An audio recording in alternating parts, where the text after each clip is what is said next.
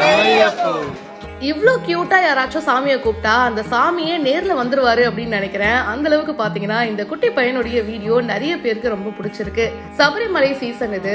So Ayyappa பக்தர்கள் நிறைய பேர் வந்து பார்த்தீங்கன்னா சபரிமலைக்கு போயிட்டு ஐயப்ப தரிசனம் வந்து பண்ணிட்டு இருப்பாங்க. அண்ட் அந்த வரிசையில் ஒரு குட்டி பையன் வந்து போயிருக்காருங்க. அவர் வந்து சுவாமியே சரணமையப்பா அப்படின்னு சொல்லிட்டு அவருடைய மழலை குரல்ல ரொம்ப சூப்பராக சொல்லியிருக்காரு. எல்லாரும் பக்தியோட ஐயப்பனை தரிசனம் பண்ணிட்டு இருக்கும்போது அந்த சின்ன பையன் பார்த்தீங்கன்னா சுவாமியே அப்படின்னு சொல்லி ஆரம்பிக்கிறாரு. அண்ட் அந்த சரணம் சொன்னதும் அண்ட் கூட இருக்கிற எல்லாருமே வந்து சரணம் ஐயப்பா அப்படின்னு சொல்லியிருக்காங்க.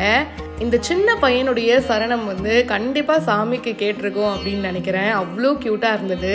அண்ட் அதே மாதிரி அங்கே இருக்கிற காவலர்களும் வந்து பார்த்தீங்கன்னா இப்படி குட்டி பையனாக இருந்துட்டு எப்படி பக்தியோடு இருக்காருப்பா அப்படின்னு ஆச்சரியத்தோட பார்த்துருக்காங்க ஸோ ஒரு பக்கம் இவர் சரணம் போட போட எல்லா ஐயப்ப பக்தர்களும் வந்து கோஷமிடுறாங்க அண்ட் இந்த வீடியோ இப்போ சோஷியல் மீடியாவில் வைரலாக போயிட்டுருக்கு.